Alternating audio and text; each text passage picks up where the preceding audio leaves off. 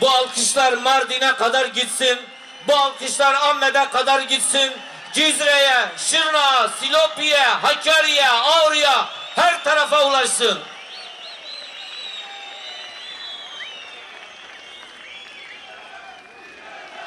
Zor spas. Gelin meyheşa. Dayke bir rumet. Jinin azadiye civanên tekoşîna azadiyê bi dil û can ve silav dikim, silav û rê, silav û hermev jî were. Em zanin tekoşîna gelê me, tekoşîna azadiyê, berxwedana gelê me, em zanin û em bawerin ew ê bi ser bikeve. Zulm zor û zehmetî به هر آوای به زندان لعیلو گل کرد لهر دوره لهر قدا روش به روش دنگ آزادیه هید بلند کم بله از دخواستم لفه داره هنگ نرین خواه به ترکیشی بینم زمان. ام زانن برای می ترک حوال می ترک خباتکاره Em dixwazin dengê me her hemû gelan. Ji ber vî awî carek din em li ber tekoşîna we li ber duruşa xwe beşna xwe ditewînin. Silav ve hürmet ekhamtinin zaman. Evet, değerli kardeşlerim, saygıdeğer halklarımız, uzun yıllardan beri siyasetin içindeyim. 12 Eylülleri yaşadık. 1990'ları yaşadık. 94-95'teki vahşetlerin şahidi olduk faili meçhul cinayetleri gördük. Zaman zaman Kürt halkının demokrasi mücadelesini susturmak isteyen zihniyetler bütün o zulüm politikalarına rağmen Kürtleri sindirme ve susturma politikalarına rağmen gün geçtikçe Kürtlerin özgürlük, demokrasi ve barış talebi daha güçlü bir şekilde dünyanın gündeminde yerini aldı. Ve sizler de duruşunuzla demokrasiye, özgürlüğe sahip çıktınız. Bütün bunları yaşadık. İktidarları gördük. İktidarlar Kürt halkını yalnızlaştırmak için büyük oyunlar oynadı. Kürt ve Türk halkını karşı karşıya getirmek için adeta çok kirli siyasetler yürüttü. Ama bugün biliyoruz ve inanıyoruz ki demokrasi, özgürlük hepimiz içindir.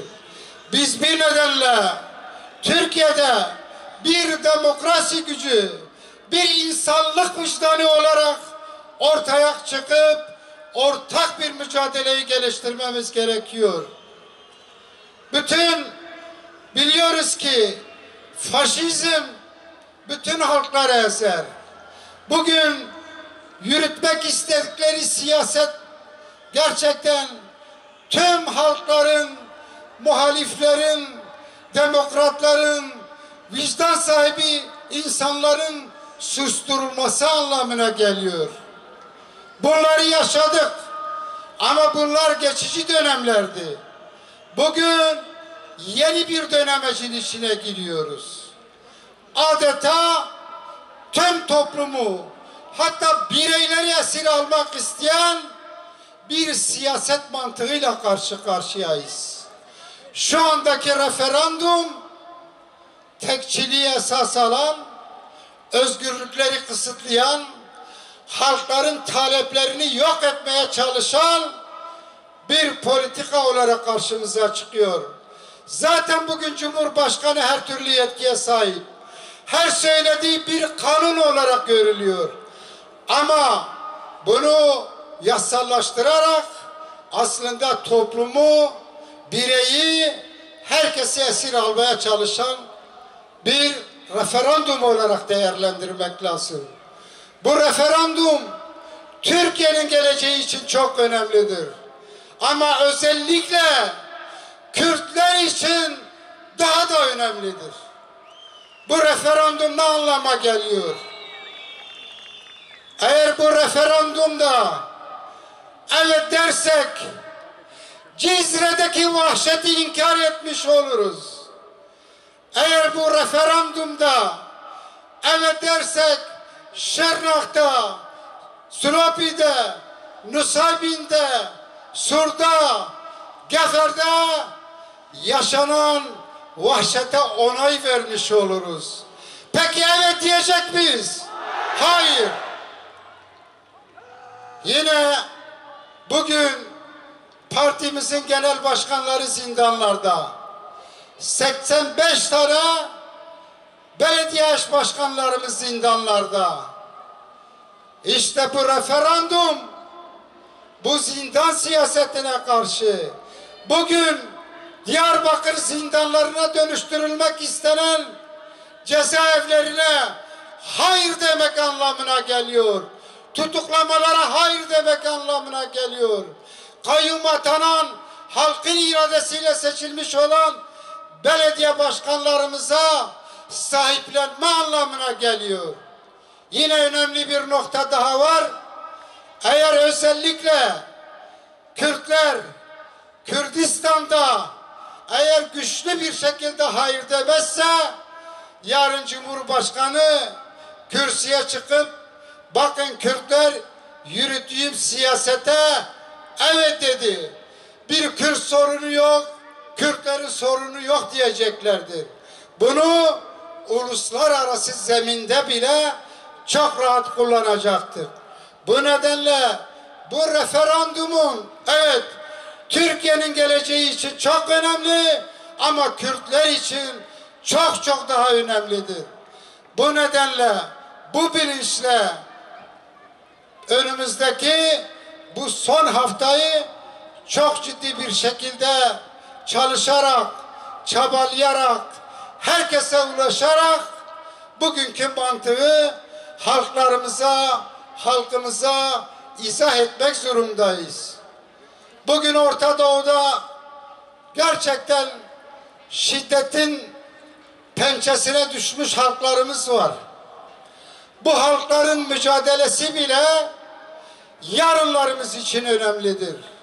Bugün Rojava'da, Şahbaba, Münbiş'te bugün Türkiye Cumhuriyeti Devleti Kürtler orada bir statüye sahip olmasın diye adeta bir saldırı içindedir. Ve görüyoruz ki Minbiş'te, Şahba'da hedef Kürt köyleridir.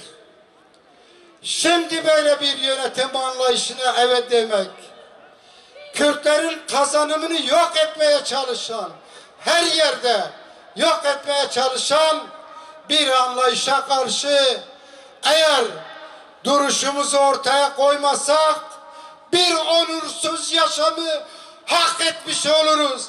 Ama Kürtler onurludur. Asla asla böyle bir anlayışa yol vermeyecektir. Evet demeyecektir. Hayır diyecektir. Buna yürekten inanıyorum.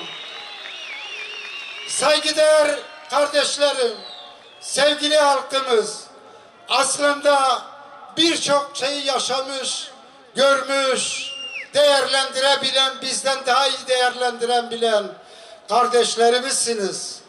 Ama özellikle eğer bugünü çok doğru yorumlayamazsak büyük yanlışlıklara düşeriz. Aslında 16 Nisan'daki referandum her şeyin sonu değildir.